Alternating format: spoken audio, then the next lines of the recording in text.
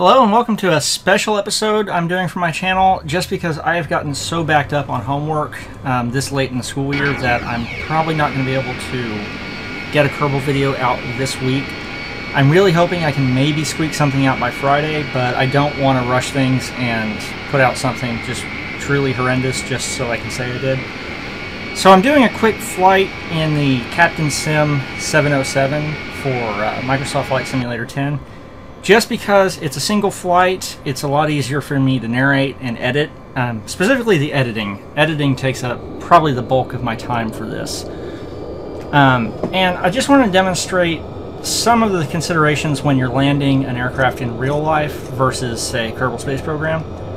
Because in Kerbal Space Program, you may have noticed from my very uh, wild shuttle landings, I don't really have the instrumentation available to me or really the familiarity with the aircraft to bring something down um, reliably and gently. I'm getting better, but it's I'm flying that more by feel than by um, instrumentation.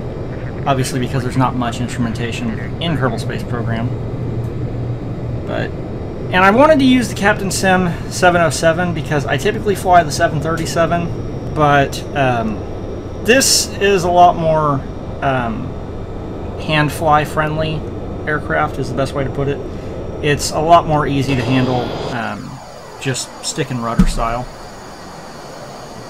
Plus, it's kind of expensive piece of payware. I want to show it off, get some use out of it. Typical takeoff, um, you set the flaps to proper takeoff um, height, put a little positive trim into it, and then just jump into the air. And I think one of the biggest drawbacks to Kerbal Space Program is I've been doing my best to try and get my flight stick set up so I can handle the space shuttle. I just can't quite get it where I want it um, because I can get pitch and yaw perfect, but roll is so abrupt that it's very hard to um, make gentle adjustments to kind of make those minute side to side uh, course changes to come down smoothly. So this is, it's pretty well tuned. Um, it's developed by a very talented group of people. Um, so it responds very well to controls. Um, the only problem is when I fly Flight Simulator, I've only got a flight stick. I don't have a yoke. So flying these heavy aircraft is a little, little more uh, precarious than I'd otherwise like it to be. The Airbus um, does have a side stick controller. Uh, all Airbus aircraft have side stick controllers but they're also fl doing fly-by-wire, and so they've got lots of logic programmed in them to dampen out any abrupt maneuvers. And uh, it's a lot more smooth flying experience than trying to handle this thing with a flight stick. But I managed decently well. We're just doing a quick uh, visual flight rules flight out of Tulsa International. It's the airport I'm most familiar with because it's uh, pretty close to where I live. Um, I am not a pilot. I've always wanted to be, hence why I've got this, um, which this is not a game. This is that boring piece of software that your dad's played with, you know, back in the 90s. I, unfortunately, having wanted to be a real pilot for my whole life, um, it was right up my alley. So, it's fairly interesting for me to fly, but I'm not probably not going to do too many videos of it, mainly um, because it's just boring. It's just flying. My Alpha Sim SR71 Blackbird, I'm probably going to do a video on that one just because it's a Blackbird and therefore inherently awesome. But um, this, I am a huge geek. I love the 707. Um, I consider it hot, the hot rod of the skies. The main problem is trying to keep those turbofans from having the aircraft uh, run away from itself when you're trying to fly it. But not many people get too excited about airliners. Um, I don't get too excited about them, but this was a pretty interesting and impressive airplane um, historically.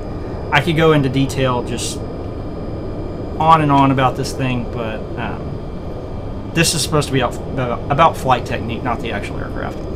Maybe I'll get into it at the end because I kind of show the breakdown of the model later. But right now we're going to focus on flying and flight uh, theory in general. And the biggest drawback to me in Kerbal Space Program is uh, flying with trim. If you have SAS turned on, it does a decent job approximating a fly-by-wire system where Um, you let go of the stick and it keeps the nose of the aircraft pointed exactly where you had it. However, SAS being what it is, it's not perfect, and so you get those oscillations where it keeps trying to find the pitch. Um, doesn't work out so well in practice, but works well enough for me to do what I need to do. Flying without SAS and just using trim to adjust the aircraft, that's where things get really tricky for me. Um, I've not been able to master that at all.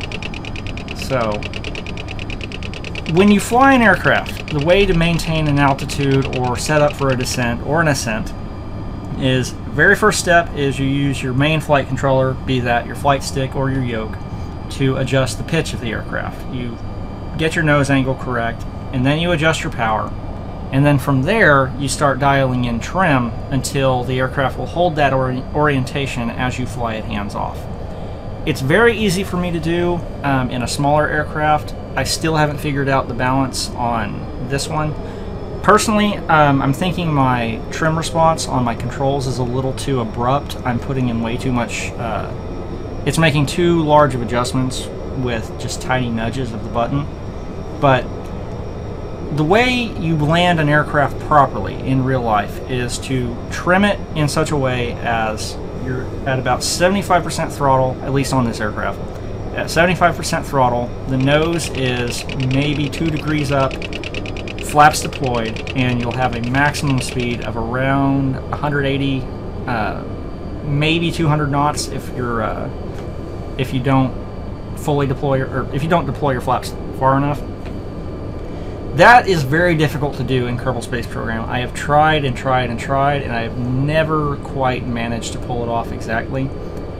Um, and so that's what makes it a little difficult for me. If I could just turn my brain off and play it as a game, I'm sure I would be much better. But there's, um, I've done enough ground school and general flight training in hardcore simulators to understand what goes into flying an airplane, and I'm trying to fly an airplane instead of play a game when I'm playing Kerbal Space Program. And that's what's getting me into a lot of trouble. And even on this approach, um, I'm almost messed it up very badly because here we got flaps coming down and landing gear. And I don't think I show the slats, but you see the flaps on the trailing edge of the wing, they are matched by slats on the uh, leading edge of the wing, which do the same thing and change the shape to give more lift at lower speeds. I don't think I showed those off um, in any of the views. However, um, back to what I was originally saying, it's a little difficult for me to train myself to just. If I wanted to make an, a better analogy, landing in Kerbal Space Program is much closer to landing on an aircraft carrier. You're coming in and you're actively controlling it down. You're not just gracefully letting it slide down onto the ground. So it's a little more abrupt and a little more uh, hairy type approach.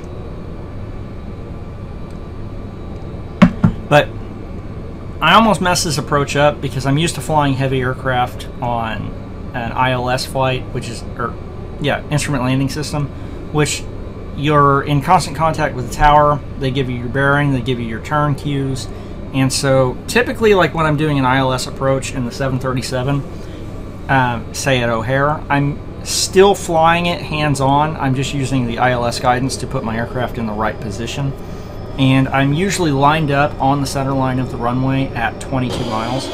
And really, it's just a matter of, matter of controlling my rate of descent. Flying this thing like an oversized Cessna, um, I put myself into a really bad position, and I, you probably noticed that I was very far to the right of the runway. If I were doing this even remotely correctly, I would be um, set up and just worrying about my rate of descent. So that's going to explain my pitch and all that other maneuvers. But currently the aircraft is trimmed for a very slow descent. Um, I'm at 50% throttle, 50% uh, flaps, and I'm actually not touching the main flight control as far as pitch goes. I'm just using it to adjust my roll, and I'm trying to dial in some yaw with the rudder. And this is a, another where the unfamiliarity with the, with the aircraft, I haven't made many approaches with it, so I'm still trying to figure out what it looks like when I'm on the center line. My gut is telling me right now that I'm a little too far to the left, and in fact I am. Um, and so I'm trying to kind of compensate that out. But by having it trimmed for slow flight, you have very little lift with which to make these uh, type of maneuvers with. So I'm trying to add power. But on my approach, I'm actually not controlling my descent with pitch. It's just the throttle. By put it, pulling back on the throttle, I lose lift so the aircraft sinks faster. By putting in more throttle, it will um, sink slower. Which is not something I'm able to pull off in Kerbal Space Program just yet. And I'm not even looking at the VSI instruments, my vertical speed. Just gently touch it down. Plant the nose and start engaging the brakes. You can see I was well clear of the center line, but still fairly safe landing. Um, I would probably be, in real life, I'd probably be facing an FAA review for that type of approach, uh, because there's really no crosswinds to speak of today.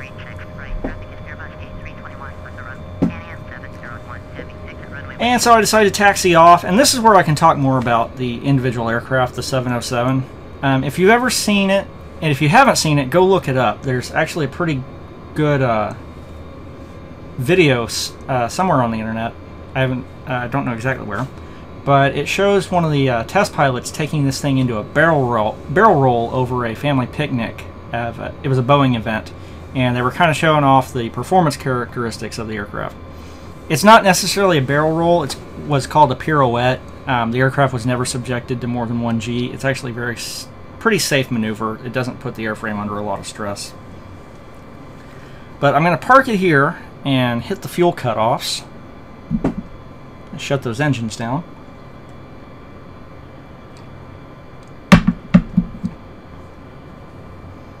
And kind of take you on a tour through uh, 1960s Boeing aircraft.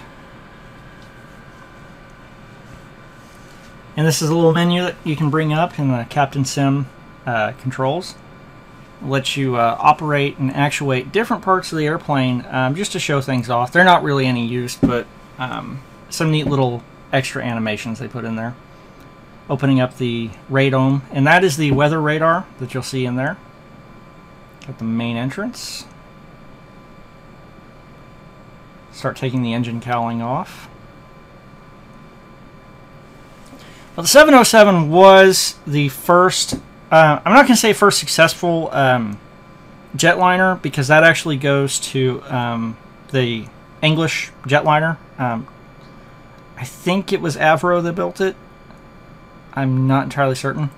Um, unfortunately, it didn't have nearly as long a career as the 707. Mainly, there were a lot of issues, a lot of things that were being discovered for the very first time on the jetliner and the things that they worked out on it are what allowed the 707 to be such a success. Um, like totally square windows created stress fractures, and there were several aircraft that, after repeated pressurization and depressurization, um, the structure failed in flight. Terrible disasters, but they just didn't know. And you can see the 707 learned from that and came out with um, rounded windows. But it was the first successful, brilliantly successful jet airliner. It was not a jumbo jet, not a wide body. You can see it's pretty cramped in here. It's a little bit bigger than an MD-80 if you've ever ridden on a regional jet, um, but it's still not that large. It was uh, one of the first Air Force One aircraft. In fact, it was Jackie Kennedy that picked uh, the livery colors which were then adopted by all subsequent um, Air Force One aircraft. Those turbofans are not high bypass. They have a lot of thrust. They're not as efficient. In fact, um, if you ever see an E3 Sentry, an E3 Sentry is the same thing as this. It just has the huge radome on it. Um, that smoke is a pretty characteristic. That black smoke coming out the back is pretty characteristic of early uh, turbofan engines and turbojets. Uh, the B-52 is the same way. If a B-52 is on approach, you'll see a black cloud over the horizon long before you see the aircraft. Yeah, just some neat little fun extra animations they've put in. I like how the remove but remove before flight tags are actually blowing in the breeze on the uh, engine and static port plugs. But yeah. And this is another view of the landing. Um, I went back and used uh, the instant replay feature to show just a little better approach. Unfortunately, um, it doesn't save the state of the aircraft perfectly. It doesn't show my flaps or slats extended, which they would have had to be for me to make that landing. Otherwise, I would have fallen out of the sky long before getting here. So, like I said, this is gonna this is pretty quick, messy video, but I'm pressed for time this week. I've got a lot of assignments coming up that are due, so this is where I'm at. Um, thanks for putting up with me. I'm hopefully going to return to our regularly scheduled Kerbal programming later.